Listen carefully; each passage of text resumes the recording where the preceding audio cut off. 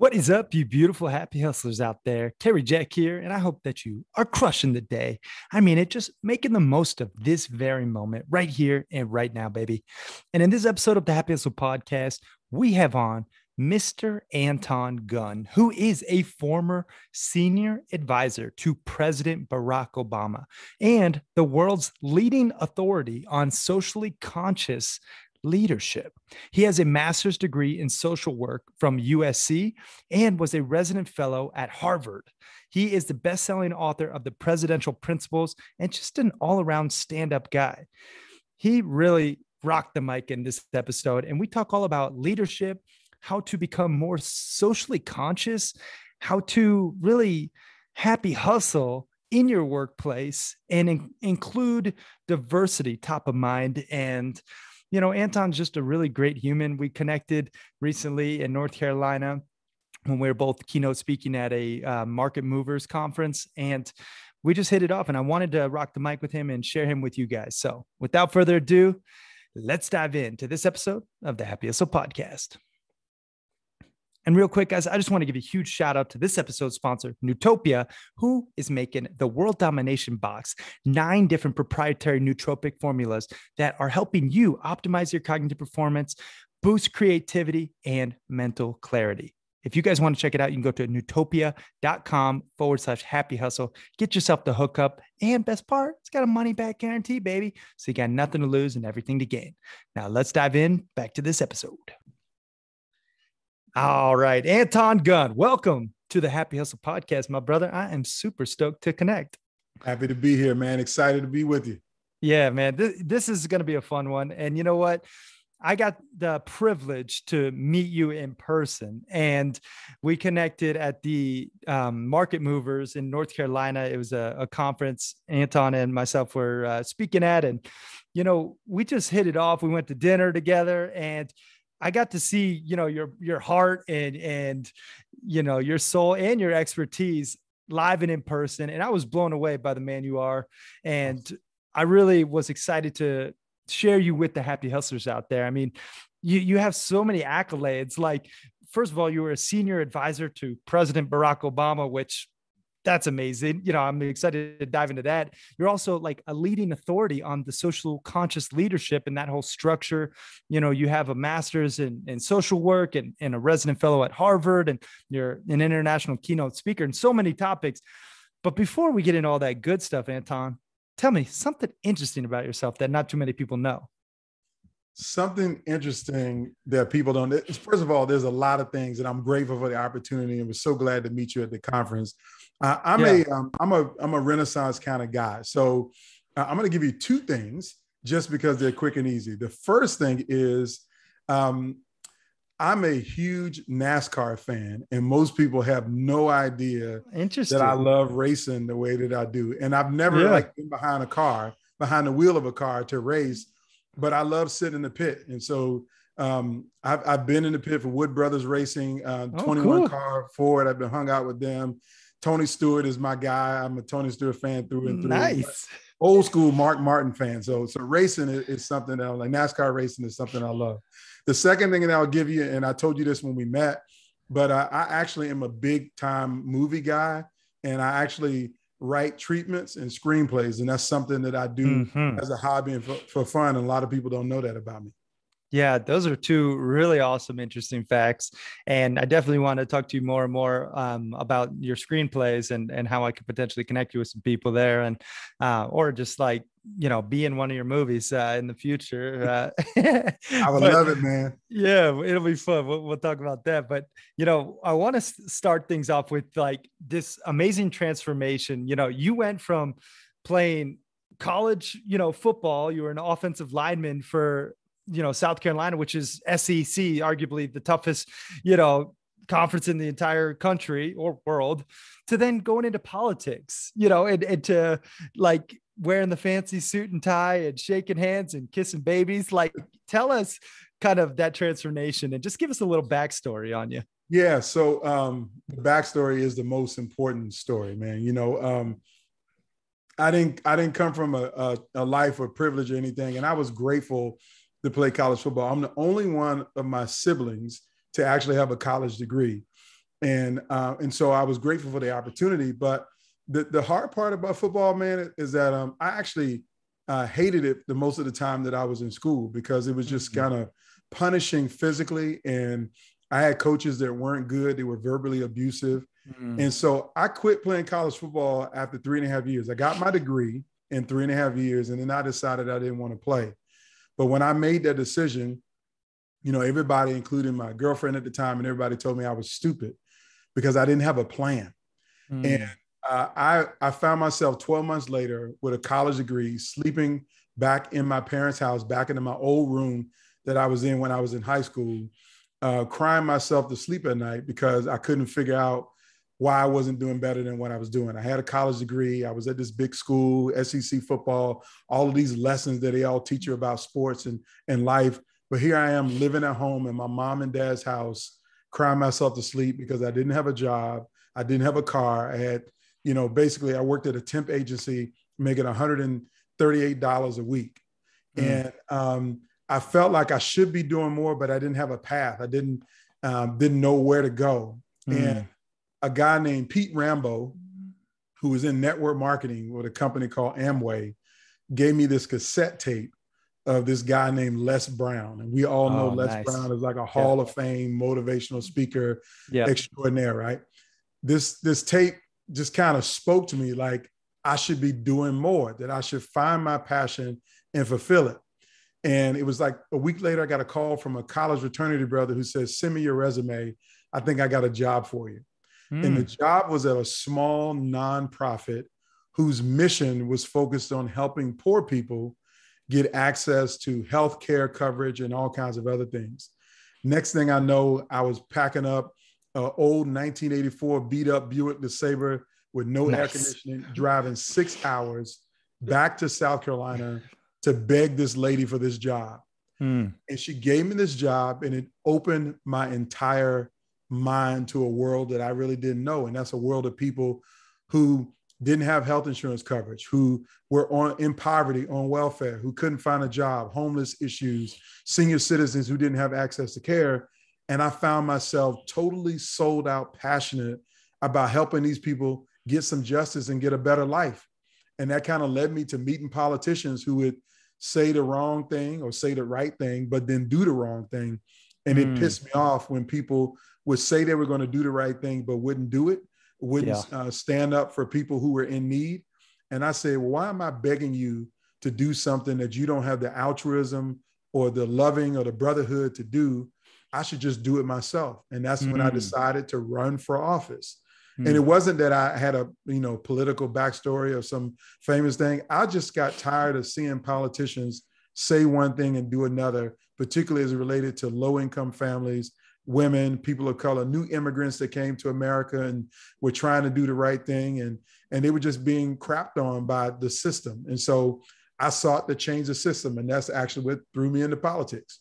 Wow. I mean, so inspiring. Like coming from those humble beginnings to that to see where you are now and like it it's it's really you know the takeaway for me is like you can be the change you wish to see in yes. the world like you know yes. gandhi says and and and sure it's a little cliche and you know whatnot but it's so true. Here anton is you know he didn't like that the politicians were telling him one thing and doing another so he's you know what? I'm going to run. I'm going to mm. be a top politician and and i'm going to make the change happen and and the happy hustlers all you out there listening you guys can make that change happen in your own life. You know it just starts by taking action you know and and being passionate enough to persevere past the adversity because I know there was adversity for you. You so, know. So yeah, let me let me just tell you, you know, to, to, all your listeners, you know, you you you got a great show and you've been giving them great value. And what everybody needs to understand, Superman is not going to show up. Yes. Batman is not coming. Yeah. Okay. There's Wonder Woman is not showing up around the corner. There's no superhero coming to save you from the life that you don't want. The only person that's going to save you from the life that you don't want is a person that you look at in the mirror every day. Amen. You have to become the person that you want to be. And it's and that's that's what happened when I listened to that Les Brown tape is that I knew that nobody was coming to pull me out of this. My mom couldn't do it, my dad couldn't do it. There was nobody that's going to pull me out of this. I had to have the mindset mm. to match up with the skill set and the outcomes that I wanted. And mm. I felt like I had the skills, but I didn't have the right mindset at the time. And mm. then when you prepare your mindset, the opportunity will show up to make a difference. And I found my pathway to making a difference. And that's what I've been doing for the better part of 30 years. Yeah. I mean, it, it truly is you know, it, it, might be earth shattering to someone hearing this, but it, it is that simple. No one's saving you. You have to look at yourself in the mirror and save yourself. And if you're not happy with your reality right now, know that your reality is a consequence of your actions or inactions. And so you have to take accountability and, and, you know, and get after it and make a change. So I love that you went there, man. Yeah, so let's fast forward. I, I do want to, you know, talk about your political career a little bit more. And of course, I got to talk about Obama because, you know, you told such an amazing story of how you came to work with Barack Obama, yeah. President Barack Obama, you know, and it was, it really fueled me, man. Like I, I love to hear grit stories. I mm-hmm. love to hear people who you know, hear no and, and persevere past and say and get a yes. Yeah. Tell us, you know, kind of how yeah. you started working with President Barack Obama. Yeah, so it's actually kind of right where I just finished off. So I told you I ran for office, um, but what I didn't tell you is that I lost the first time I ran for office. yeah. So um, I ran against a tough, tough opponent, and I got beat. But when I got beat, I lost by 298 votes, and everybody told me, Anton, you did good. You got close. And I was like, man, close don't count. You either win or you lose. And yeah. that's my Ricky Bobby um, paraphrase, yeah, yeah, yeah. right? Um, and I lost, man. And I, a lot of people wanted me to be depressed about it, but I felt like, man, I, I could have done better. I just wanted to do more. And three months later, I uh, really two months later, I found myself in Washington D.C. Um, leaving a conference, and I walked past a bookstore and I saw the book on the shelf, "The Audacity of Hope." And I heard it, had heard in a meeting people talking about that he's going to run for president. Barack Obama is going to run for president. And he had this book, The Audacity of Hope. And I was like, let me see what this guy's talking about. So I picked up his book and I started reading it in the bookstore. And I fell in love with what he was writing. And I got so immersed in the book, bro, that uh, I missed my flight. I literally missed my flight. So and uh, and so I bought four copies of the book. I got rebooked on another flight, and I bought the CDs because this was during the day of CD players. Yeah. I bought the audio version of the book on CD, and I listened to it as I read it on my flight on my way back to South Carolina. And when I got back, I went to a holiday party. This was December, and I was with some friends of mine who helped me on my campaign, and I handed the book to them, and they was like, "What's this, Anton?" I was like, this is a book that we all need to read. And they was like, what do we need to read it for? I said, because I'm actually going to win when I run again. And this is the blueprint we're going to follow. We're going to, we're going to get to know Barack Obama. And they laughed at me. It was like, how in the hell are you going to get to know Barack Obama? You don't know him. And I was like, yeah, I don't know him, but I'm gonna just call him on the phone and I'm gonna, I'm gonna talk to them. And then they laughed hysterically again. You gonna call a United States senator on the phone and talk to him on the phone? I was like, yeah, I'm gonna call him. And literally on January the 11th of 20, 2007, I picked up the phone and I called his Senate office. And they said, you know, Senator Barack Obama's office. I said, I want to speak to Barack Obama. And they were, who are you? I was like, I'm Anton Gunn. What part of Illinois do you live in? Because he's an Illinois senator. Yeah. like, I don't live in Illinois. I live in South Carolina. And they said, um, you need to call your own U.S. senator. I don't want to talk to my U.S. senator. I want to talk to Barack Obama. And they said, well, we'll take a message. What's the message? I say, well, tell him he needs to call me back because I can help him. And they took the message and nobody called me back. Nope. So I called the next day and the same thing happened. Nobody called me back. And then on the third day, I called twice and nobody called me back. And then on the fourth day, I called twice again. And I know at this point in time, they were probably thinking I'm some psychopath calling them on the phone. Nobody called me back. So then this is Friday. I says, okay, let me do something different. So I sent him a long email explaining who I am, what I wanted to do, that I read his book. I was inspired by, I want to help him to run for president, and he needed me involved. And nobody called me back. Nobody responded to my email. So I got pissed. And then I called two more times and nobody called me back.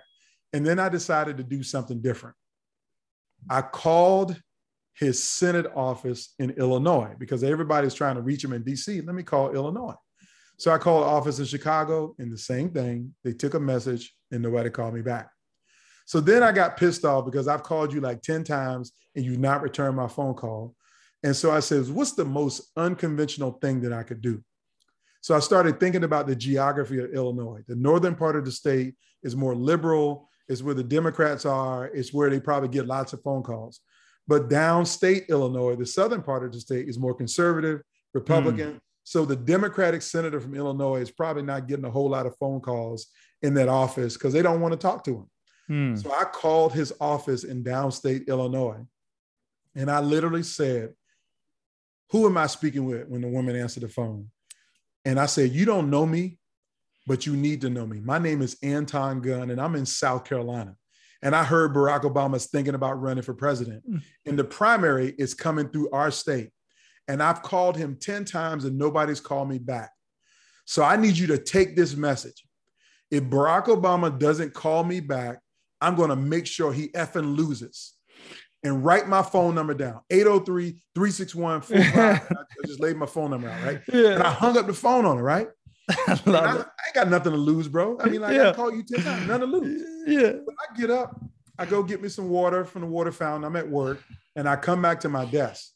And this is in the era when everybody had a Blackberry and I had a mm. Blackberry. And you know how that red light blinks at the top of yeah. the Blackberry. I come back to my desk and I see the red light is blinking on my Blackberry. And I checked my missed calls and it says unknown number. I said, who called me from an unknown number? So I checked the voicemail and the voicemail says, Anton, this is US Senator Barack Obama from Illinois. I can't wait to meet you. I can't wait to get to know you. We got all of your messages and your email. Call me back when you get a shot. 312 282. yeah. Don't tell the rest. So I call him right back and we talk on the phone for about five minutes and I can hear him smoking a cigarette through the phone because a lot of people don't remember Barack Obama used to smoke cigarettes. Hmm. And I can hear him smoking through the phone. He says, Hey, man, I think I'm gonna run for president and I don't know anything about South Carolina and I need good people on my team. So I'm gonna have my campaign manager call you and I want you to talk to them. And the long story short, two weeks later, I was in Washington, D.C., riding with, in a car with Barack Obama talking about helping him run for president. It was like 48 hours later, they called me back and says, send us your mailing address. We need to send you a Blackberry and a laptop because we want to hire you on his campaign. And that's how I got involved in Barack Obama's campaign to help him to run for president. Oh my gosh. Slow clap, slow clap. I love it. I mean, that story seriously one of my favorite stories I've ever heard. I mean, it really is. It's it just reminds me of the grit it takes to be successful you know in in anything though like you know whether you're trying to get your dream job or you know you're trying to build your company or you're trying to fill in the blank you need to have that grit. You have to be persistent and you can't take no for an answer. Correct. Man I, I, will tell you i it, the average person would probably would have quit after the first two or three phone calls that they made and nobody responded. They would think it's a lost cause but for whatever, man, I, I, was just like motivated because, you know, I wanted to learn from him. And, and I think that's the thing that I, that I take away from it from me more than anything else is it wasn't that it was going to be the best job of my life or it was going to make me a million dollars because I can tell you, I worked, you know, 20 hours a day for him for the next 13 months trying to help him get elected the president. And so it was grueling. It put me in the hospital a couple times, but oh, I wow. learned so much because I got yeah. in proximity with Barack Obama. And I think the thing you got to be mm-hmm. incessantly committed to is the growth process. And every one yeah. of those no's on the phone call was getting me closer to my growth that I needed to be able to achieve many of the things that I'm realizing in my life. So, you know, for all you listening out there, you happy hustlers, if nobody's trying to buy your product, if nobody's interested in your idea, if nobody's, you know, accepting your pitch at the pitch meeting, don't take it take that as a no right now to the mm-hmm. information mm-hmm. that they have right now. Mm-hmm. But give them more information, and tomorrow you might get a different answer. So don't yep. quit. Yeah, love that. That's like that Zig Ziglar quote. Like, you know, people don't change their mind, you know, uh, from a no to a yes. What they do is they change their decision based on new information. And it's yes. so true, man. Yes, bro. Um, I do want to, you know, kind of talk about your book, you know, the presidential principles, like because I know being in proximity to, you know, President Barack Obama, you learned a thing or two and you distilled it into this amazing book. Um, yeah. Give us a little bit about like, you know, the, yeah. the basis of why you want to even write it and then kind of, you know, what the book's about. Yeah. So um, I'm going to give you something else factoid that a lot of people don't know mm-hmm. is that Barack Obama is not the only president that I've actually been in close proximity with. Oh, wow. Um, my book is actually based upon my life experience with five US presidents. Oh, wow. Five. I didn't know that. Um, yeah, a lot of people don't know that. Um, the I, I, call them presidential encounters. It's, it's experiences that I had in close proximity to United States presidents. The first one being Vice President Dan Quayle when I was 17 years old. I tell that great story in the book. But I met Bill Clinton, um, George Herbert, uh, George W. Bush, uh, his mm. whole administration. I was really tied up into them uh, related to my brother, and I'm happy to talk about that at the juncture. Mm-hmm. So, what basically what I did with this book is that I really do believe this. If I say the name Washington, Jefferson, Lincoln, Kennedy, and Roosevelt, we all know those names as impactful presidents in the United States of America. So much so that all of those men are dead and gone now, but the decisions that they made have had a lasting impact on our lives. Like right now, some of the things that we get to do are be- based upon the decisions that those presidents made, right? Mm-hmm.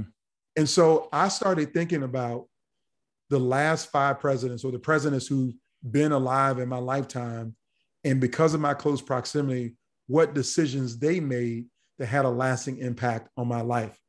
Mm. And I can hmm. tell you that the first decision when George Herbert Walker Bush sent troops into Iraq to fight Saddam Hussein the first time during the first Gulf War was a decision that impacted my life because it took my father overseas at a crucial point when I was trying to decide where I wanted to go to college. Mm. I cha- literally the University of South Carolina was not on my radar screen before my father went overseas. Mm. But hmm. when he went overseas, I didn't want to go all the way to California to go to college. I decided that I would stay close to home. And South Carolina was kind of close to home to where I live. Yeah. So that's just one example. So I wrote this book to talk about you as a leader and the presidential impact that you might have on the people who come in contact with you in your life the mm. team that you lead. So if you're building a company and you got three employees, the decisions that you make as a leader might have a long lasting impact on the lives of the people that you lead the same way Lincoln had an impact on us, the way Kennedy had an impact yeah. on us.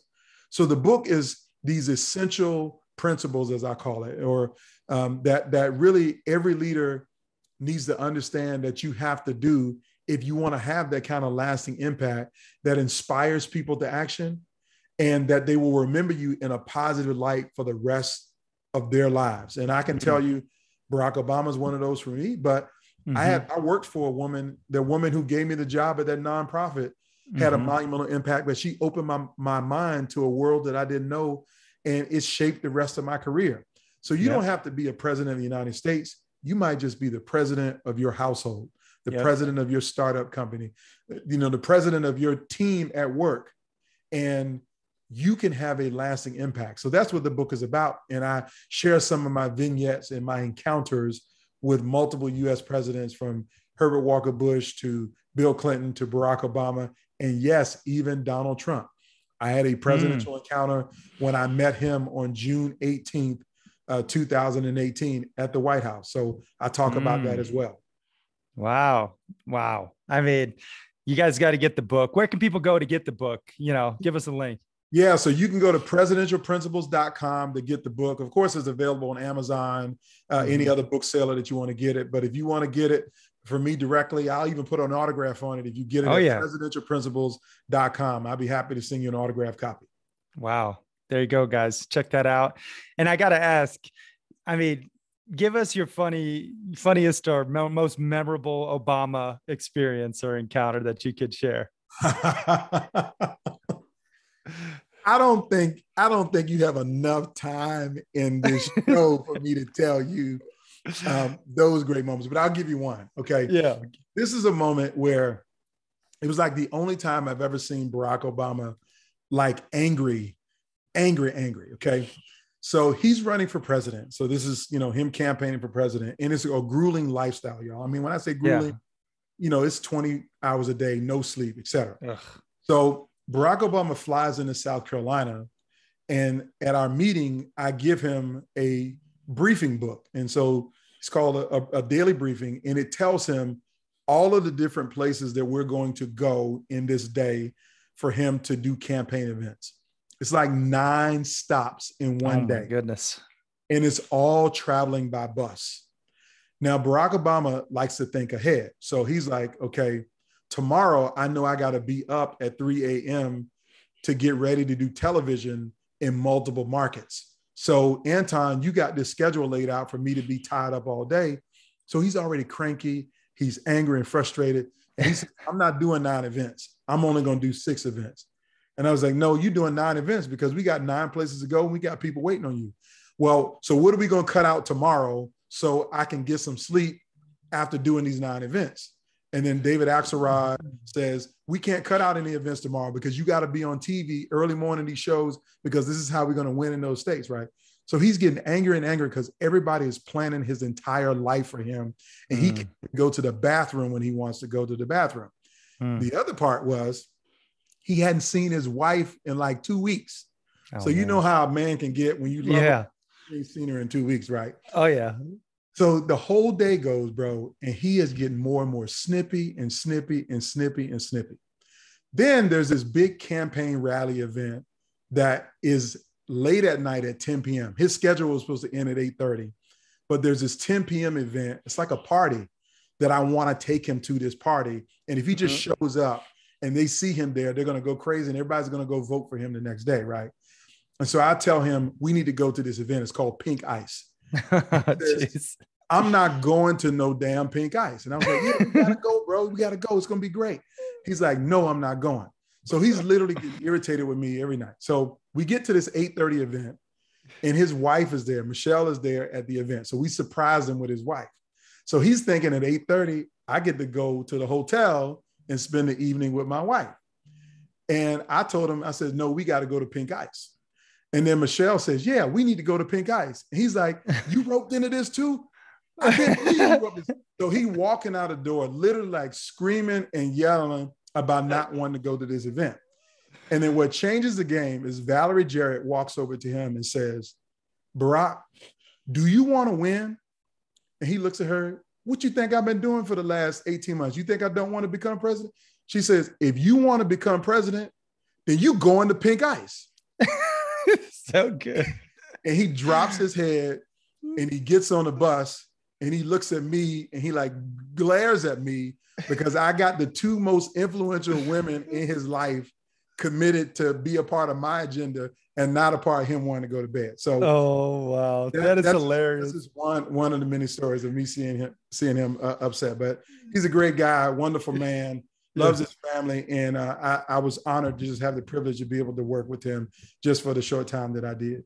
Yeah, for sure, man. I love that story. I, and it's so funny that it's pink ice. You know, it's like yeah, it's, it was a sorority event. Ice. It's it's a, it's a sorority event. Matter of fact, um, if you oh. actually Google uh, the New York Times magazine and Google Valerie Jarrett, the story about pink ice and the role that she played in there is in the New York Times, old New York Times issue from about 10 years ago, but a mm. great story for sure.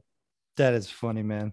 Well, I do want to transition into your life's work and and you know, you I mean, you've lectured at Harvard University about it. You've spoken at some of the the biggest companies in the world.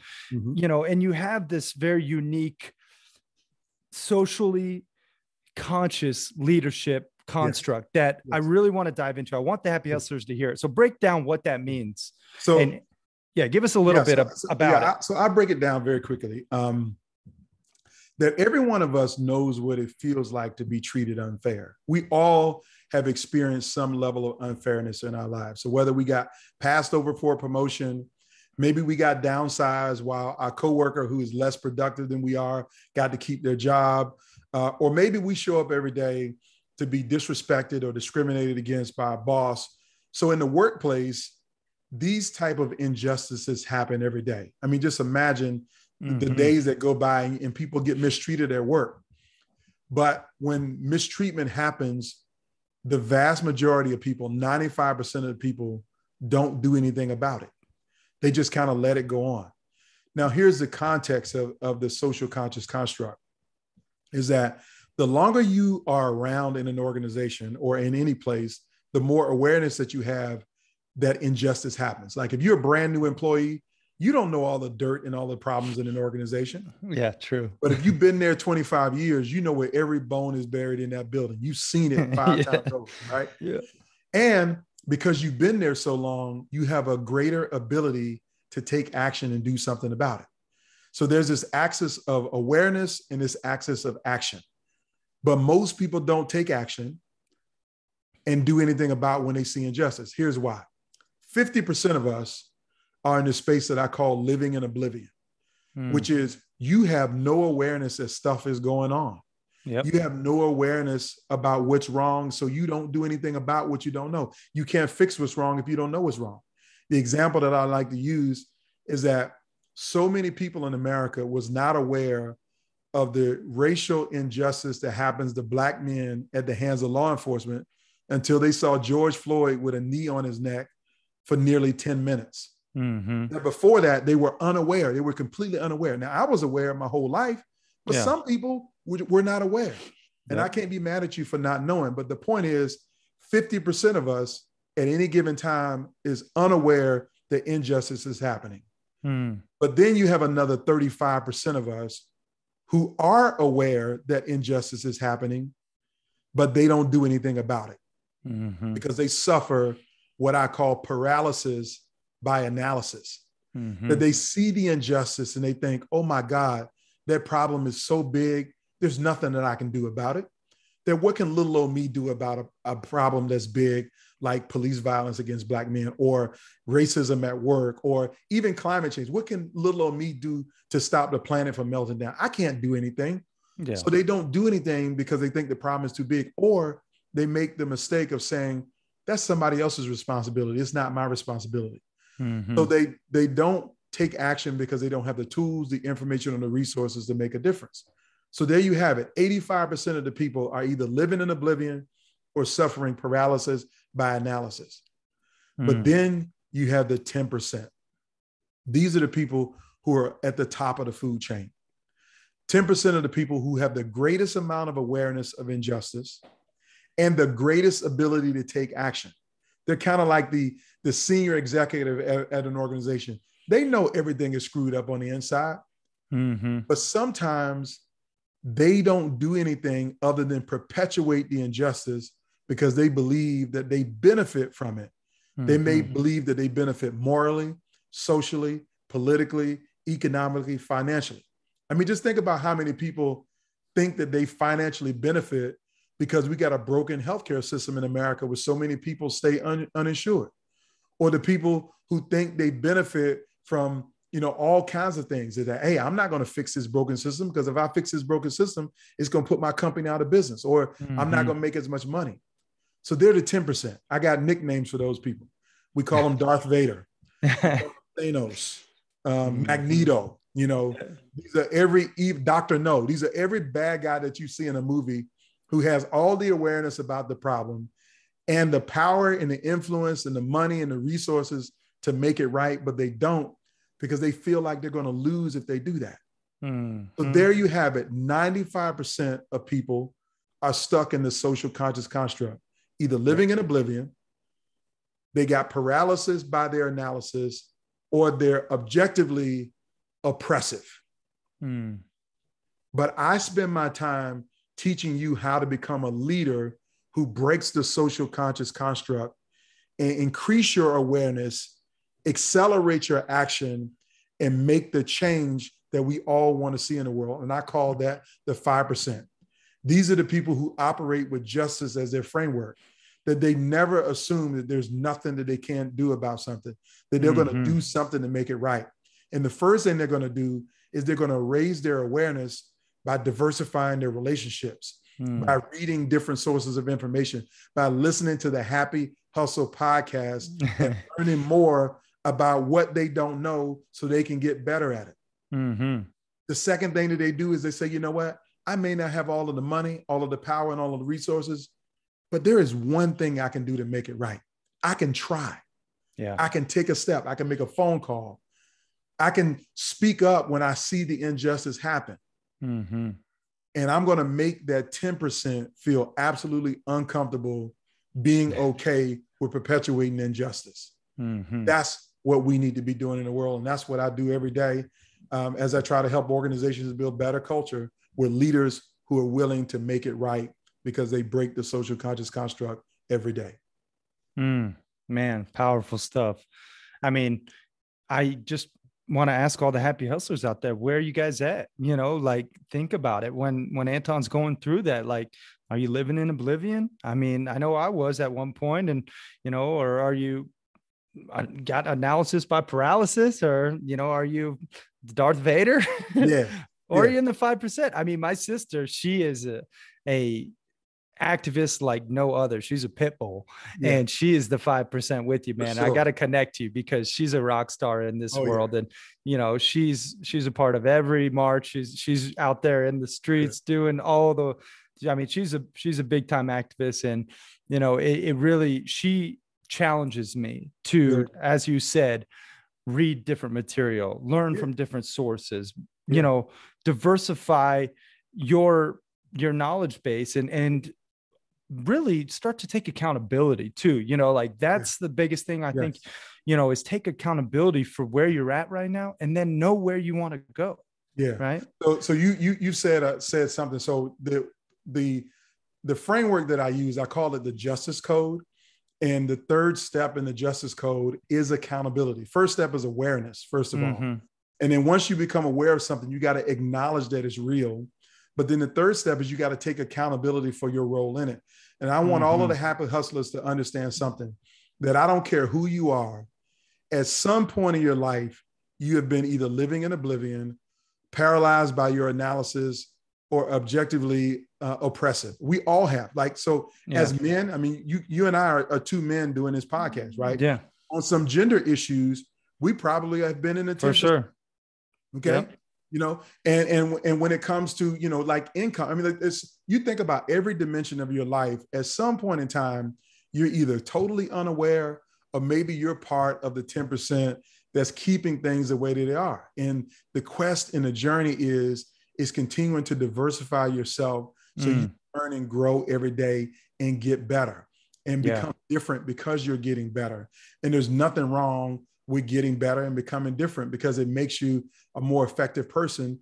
Because I know today the things that I've learned um, have have definitely made me more influential and impactful in the lives of other people. And I think that's what our goal is. It's not about money or power, or prestige, but it's about having a lasting impact on every person we have the opportunity to. And so, mm. breaking the social conscious construct gives you every opportunity to do that at a greater level. Yeah. Oh, I love it, man. It it really is about positively impacting others you know when it comes down to it like tony robbins says the secret to living is giving you know and and how can you show up for others give to others become a better version of yourself break the socially conscious construct and you know and and get yourself in the 5% and yeah. you know where can people go anton to like learn more about your framework you know i know you do this like if they wanted to book you for you know, maybe a speech at their corporation or if they just want to dive in more to your your yeah. resources Great. So this is great. So everybody should go to antongunn.com. That's the home of all things. You can read my blog there, watch videos there. You can learn more about me. In addition to that, I'm on all social channels at Anton J Gunn. So that's LinkedIn, that's Twitter, that's Facebook, and on Instagram. And so those are my four platforms. But I really want to connect with you on LinkedIn because that's where business gets done. So if I can help you in mm-hmm. any kind of way, Anton J Gunn is where you can find me on on the social platforms but antongunn.com is the home where all things I add value to. So happy, happy to have you there. Oh man. Yeah, definitely guys check out Anton uh, gunn.com. And I know, um, you know, the presidential principles would be a great read for all the happy hustlers out there. And I wish, you know, we had more time to dive into all those different stories. But what I do like to ask all my guests, Anton, is happy hustle hacks for each of these different disciplines, these different areas of their life.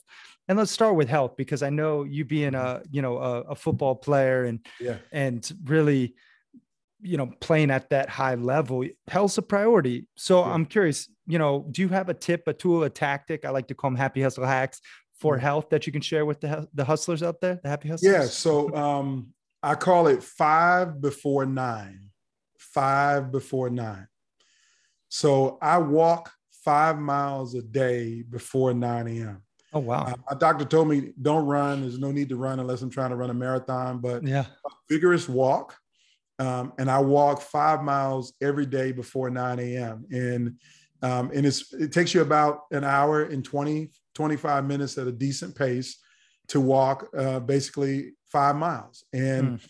that's my happy hustler hack. And I'm gonna tell you what it's done for me. I've lost 40 pounds in 12 months wow. because Good I walk you, five miles a day. Mm. Um, I do another thing, I intermittent fast, which is something people have been doing yep. for a long time. But I really believe that five miles a day is my happy hustle hack. If you can do five before nine, you knocked your 10,000 steps out of the way, and whatever else you do during the day is gravy, bro.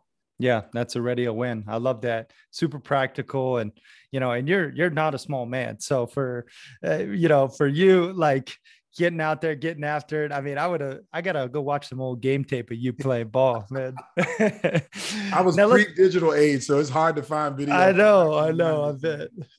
Well, let's talk about money. You know, I think money is important subject to discuss, and and yeah. for me, I look at it as a frequency. You know, it's a tool. It's um, it's a way to reveal more of who you truly are. Mm-hmm. I, would like to ask, you know, a happy hustle hack in regards to money. Maybe something Anton does that helps him save or invest or spend wisely that he can share. Yeah, so uh, so I will tell you, um, I married well. Uh, I married a, a, woman who grew up in a real estate family. My wife got her real estate license while she was in college. Okay. Oh wow. So don't do that. No. And mother has been an entrepreneur for 35 years, and so my wow. mother-in-law, her name is Nancy Johnson. She's wrote written a book called A Million Dollar Producer Mm. And I listened to them about real estate investment. So my mm. wife and I were married six months before we had our first investment property. And then within two years, we had a, a total of 12 units. And so, oh, wow. So I, I learned that, you know, most millionaires and folks that are wealthy, we love to think that they made all of their money from other things, but a large portion of them own like 37% of their portfolio is real estate. Mm. And so, so for me, my my money game is not in the stock market. I mean, I do do it like everybody else does, mm-hmm. but uh, land and and rental property, investment property um, are the ways that that we go about it. So my happy hustle hack is for people to to figure out how to in, invest and buy property. I mean, right now the market is kind of crazy. If you got property, yeah. you sell it, but um, always look for a deal. There's a way to get a deal somewhere, and so I focus on real estate. Yeah, love that, man. Great, great happy hustle hack there. And um, you know, one in which even with a volatile market or the ups and downs, the interest rates are so low, and it, it's really something all the happy hustlers, you know, should be diligent in their in their research, but take advantage of. Um, yes, sir. So I love that you went there. Let's talk about spirituality. You know, yes. not necessarily one God or another. I don't care what you believe in. I just care that you believe. You know, for me, it's yes. about you know having faith and and yes. believing in a higher power and connecting to source energy and you know just something more than myself. Yeah. What about you? What's a happy hustle hack in regards to spirituality? Yeah so um, I, am I'm, I'm very much a, a believer um, in you know i'm a christian and have been um, my entire life. I grew up catholic um, but in terms of context around spirituality um, i do something um, every day and and that's you know pray but uh, twice a year, I do hmm. what I call a 30 day mental fast. Mm. So for hmm. 30 days, no social media, no television, no newspapers, no magazines. Oh, wow. Um, I, I, I just tune it all out. And for 30 days, I, I take a 20 minute walk where I just really breathe in and breathe out to absorb nature around me. Um, I listen to audio books, positive audiobooks. I read from an inspiring or empowering book. And every night I spend 45 minutes doing what I call prayer, reflection, and visualization. Mm. So I pray and, and I and I ask God for for him to manifest in my life and show up the way that he wants me, me to. I reflect and say thank you for all the things that he has given me, all of the good things, all of the bad things, all the adversity. I thank mm. him for everything. And then I visualize where do I want to be 10 years from now? Mm. I don't visualize tomorrow or next week or next year, but a decade from that moment. What do I want my life to be like?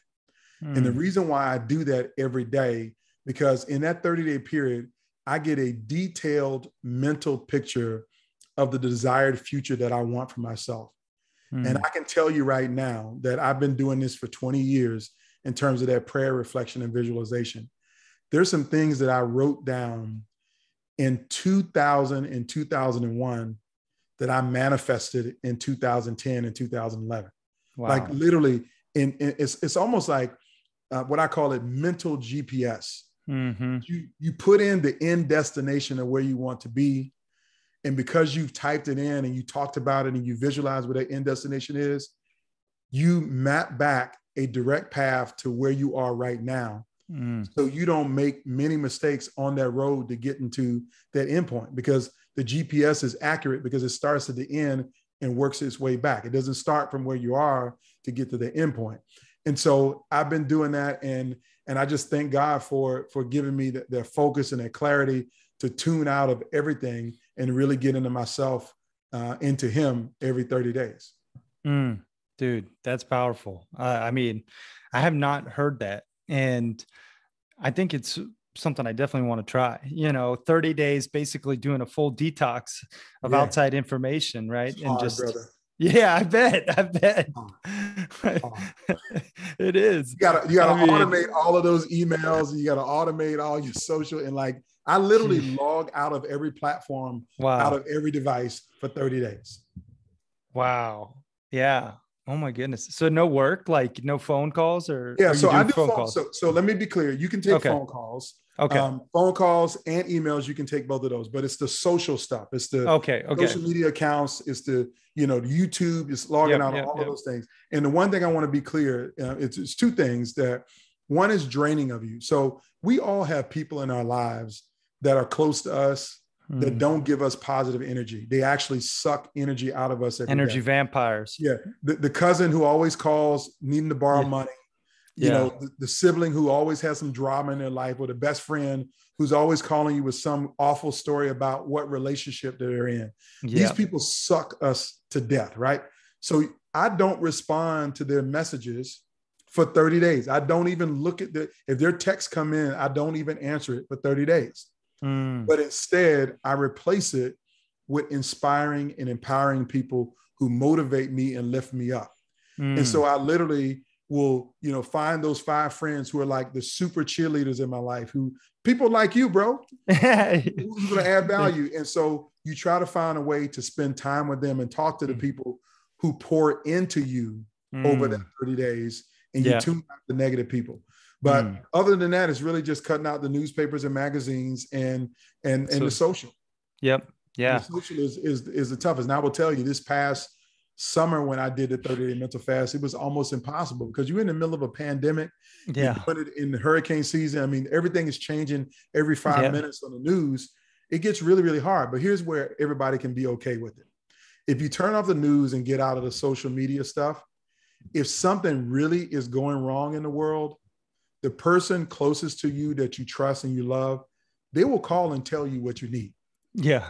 So you don't have to worry about missing anything. If it's something really important, the yeah. people you care about will tell you what you need.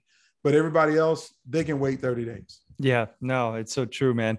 And you know, it, it kind of brings me to the Montana Mastermind that I'm I'm gonna try to get you on uh, eventually, man. I know you don't do camping, but five days digital detox, you know, camping out in the wilderness, like just I you don't feel that type of liberation anywhere else you know like complete freedom away from tech away from the the grid no power no running water. I mean you got wow. the river but wow. like that's that's where i reset you know and um, we're gonna get you out here one of these years. I, I, I man, I'm a, I'm a, I'm, I got the mental part of that down already i know you do. That, that physical part of being in the woods and in in nature grizzly bears little bit over the edge with me right now. I know. I'll, I'll, have to keep working on it. Keep working. Anyway, man, I wanted to I want to run through the rapid fire round with you and sure. and then just wrap this bad boy up. It's been an amazing interview, man. I just really appreciate you.